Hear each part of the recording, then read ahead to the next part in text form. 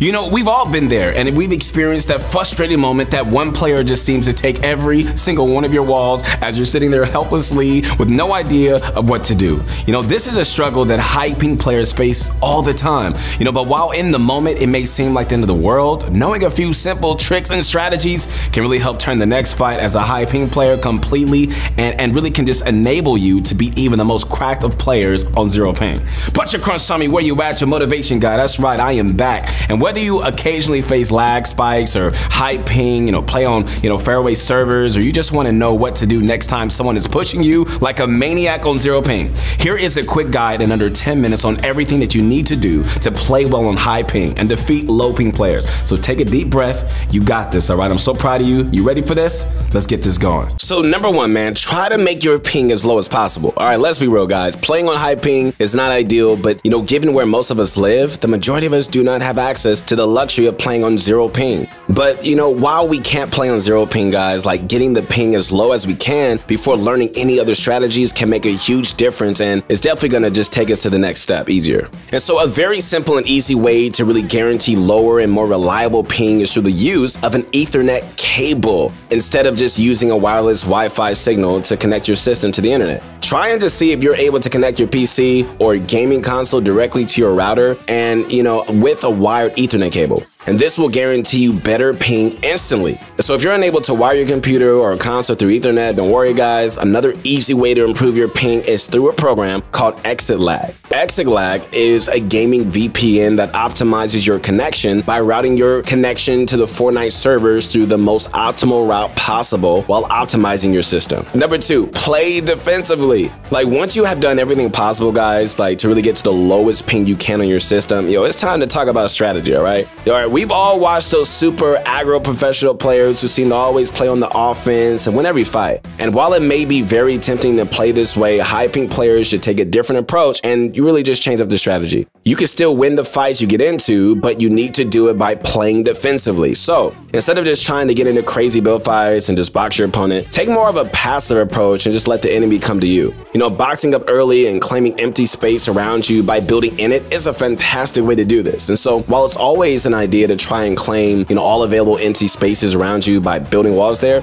this step is even more crucial when playing on high ping. Because your opponent will most likely be able to edit quicker than you, like given their lower ping, you don't want to allow your opponent any chance to make any quick edit plays on you that really require an instant response on your part to survive. And so this is because your movements and reactions are going to be naturally delayed and slower than a zero ping player. So claiming, you know, all available space around you first allows allows you to control the narrative of the fight and really play it more with strategy. And so when the player does come to you, only shoot at them through peeks where your opponent cannot easily see you. Using peanut butters and right hand peeks are great ways to really do this in game. And so if you're not used to this approach, it might take some practice. You got it. Don't worry about it. And so to really thrive on high ping, you will need to learn to really shoot at the enemy in ways where they cannot really shoot you back, all while making sure you have enough room, you know, around you to comfortably navigate your box without getting just trapped by your opponent. Okay, so if you manage to get the hang of playing on high ping and you want to improve even further, then ProGuides.com might have exactly what you need. From pro coaches who are ready and waiting 24 7 to help you guys improve, to master courses from the best of the best, and an innovative VOD system, you know, we've got something for everybody to improve super fast. Check it out. Number three,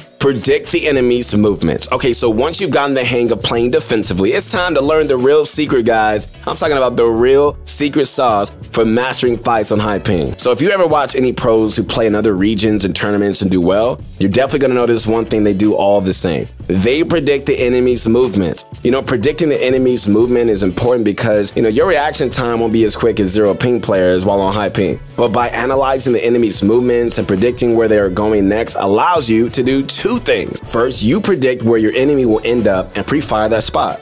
Getting into this, you know, habit of pre-firing your enemy while on high ping will be hugely beneficial in winning big fights. Like your movement will not feel as smooth, so you know you're overcompensating by pre-firing, and this can really give you guys an upper hand in your fights. All right, second, you will need to predict your enemy's movement if you want to have a chance at beating them in any sort of a build fight if you happen to get into one of those, all right? As we discussed earlier, you're going to be at a significant disadvantage while playing on high ping because your builds are going to be slightly delayed. So to counter this, you're going to need to predict their movements and really place builds accordingly. And so by predicting where the player will move you, you know, you can just really, you know, pre-place walls and position yourself accordingly, you know, really to box up your opponent or just gain the upper hand of the fight through predicting the enemy's movements and building accordingly. All right, guys, number four, choose the right weapons. Okay, so this step may seem a basic, but yo, it is so important. Like you're going to need to choose the right weapons to perform well on high ping. Here's what I mean, right? Like given how laggy high ping ping is and how oftentimes your movements will feel delayed depending on you know how high your ping actually is, some weapons may not be the best fit. And so when it comes to your personal loadout, you should definitely take a good look at you know what shotgun you use. You know, some high ping players prefers not to really use pump shotguns because missing your shots due to ping induced delays could really you know cause your death. For this reason, you know, some high ping players who regularly play on either other regions or just extremely high ping on their own, they use, you know, more fast firing shotguns, giving them just more chances to hit their opponent while dealing with delay. And so another example of this is, you know, if you're exceeding a 100 plus ping, some of the more technical options might not really be the best fit. And so in previous seasons, an example of this would be the heavy sniper, or in current seasons, weapons like the bow, you know, might not be the best for you to carry if you're on high ping. And so in a team game mode such as trios, you should consider giving the more skilled, you know, ping reliant weapons to your teammates and in turn definitely focus on just playing more of a support role and just carrying items such as heals over skill weapons. All right, so you should always also try to carry some sort of spray weapon while on high ping. Being able to spray opponents' walls and really look to really pressure them is key to still being able to pressure a player while unable to take the wall due to high ping. You know, spray weapons like SMGs can also come in clutch when you you know you happen to be in close range to an enemy and you can't accurately hit a shot with your shotgun. So, you know, switching to SMG can come in clutch here and really help you guys secure the fight. All right, you also are going to want to make sure that you have good aim to work these weapons. Like aim isn't as affected by ping as some other mechanics in Fortnite. So, mastering good aim guys through the use of aim trainers can really lead to quick improvement on high ping. Bunch of Crunch Army. Okay, guys, it's time for the question of the day. Today, we want to know how many of you guys actually suffer with high ping, and if you are a high ping player, what arena rank you've managed to achieve despite your difficulties. Hey, let us know in the comments down below because you know we check out every single one of them. All right, back to the video. All right, guys, so we discussed some basic strategy tips, mindsets to use, and loadouts to really help you guys with high ping. But for the last part of the video, I'm gonna be sharing with you guys some practical techniques that you can really replicate in the game. Who's ready? Number five, strats and tricks to use in game. Bunch of Army. Okay, one super practical technique that you can use in game is shooting the enemy's wall to take it. On high ping, you're not going to be able to reliably take an enemy's wall through the classic method of just pickaxing it. You know, although this is the most popular form of taking walls, there are different versions of the wall replacement. And so some of which are better for high ping players. The most effective for a high ping players is usually shooting an enemy's wall out. And this is because you're able to actively pressure the enemy when running up to their wall and surprise them by trying to take it. And so when you pull out your pickaxe out, you alert your opponent that you're about to take their wall. And so the player then gets ready to hold their wall and engage in a ping duel. Since you are on high ping, the opponent will most likely keep the wall every time. So by shooting the wall to take it, you can play a strategic mind game to get the upper hand by just standing in a certain position where you have access to multiple points of entry and shooting them all until you decide one to take. Your opponent won't be able to read your mind or hold every spot, allowing you guys to have a better chance at taking the wall in higher ping. And so this leads to another super practical technique, guys. When on high ping, don't rely on edits to win fights as your edits are going to be delayed due to the ping. When you finally take an opponent's wall, minimize the number of edits that you need to do by not placing placing a ramp inside. You know, most people tend to do the Mongraal classic when they take a wall, which is editing the wall open, placing a ramp, then editing the ramp to expose the player.